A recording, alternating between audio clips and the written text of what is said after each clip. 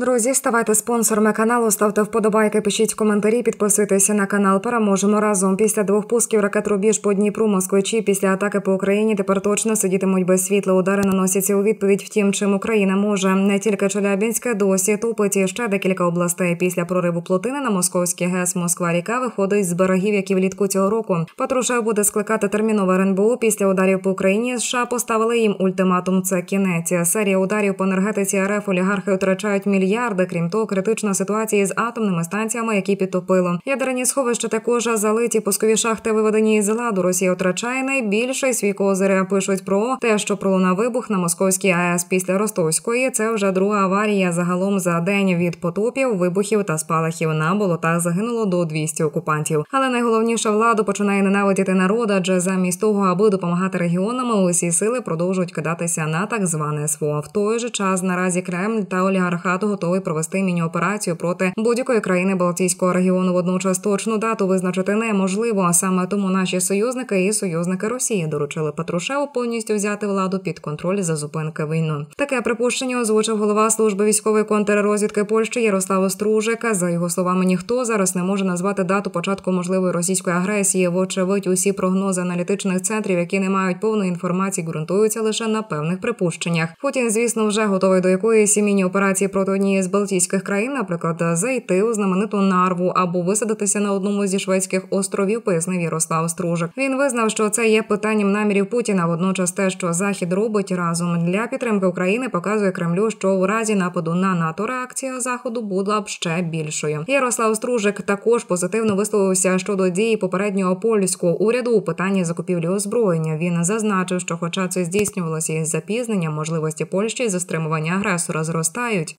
Кремля планує провести навчання з ядерною зброєю. Владимир Путін доручився своїм генштабу збройних сил Росії провести навчання з нестратегічною ядерною зброєю. Ворог планує залучити сили південного військового округу, авіацію та військово-морський флот. Росіяни аргументують свої ядерні погрози необхідністю підтримки готовності особового складу окупаційної армії здійснювати відповідь на погрози та провокативні заяви для забезпечення територіальної цілісності та суверенітету. Дмитрій Медведєв теж не оминув можливості пригрозити заходу ядерною зброєю. Заступник голови ради безпеки Росії повторив слова Путіна про необхідність відповідати заходу. Тепер підставою для нанесення Росією ядерного удару може стати агресія з боку будь-якої неядерної держави за підтримки ядерної держави. Зокрема, йдеться про масові атаки безпілотниками. Це що таке? Це ні про що. Чому тому, що ми вже неодноразово використовували зброю, зокрема і по території, яка відповідна до їхньої конституції, є їхньою територією. Уже усі говорили, що Росія прогавила той момент, який можна було б використати для ударів по Україні тактичною ядерною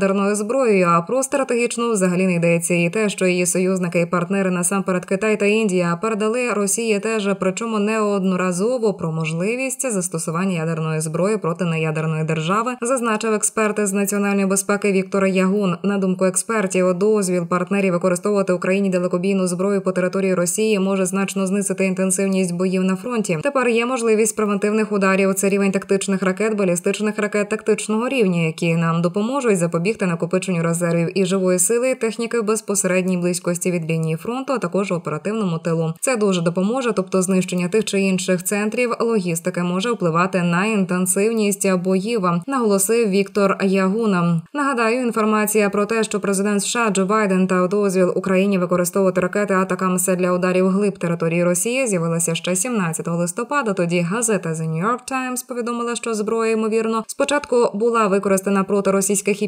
північно-корейських військ для захисту українських сил у Курській області.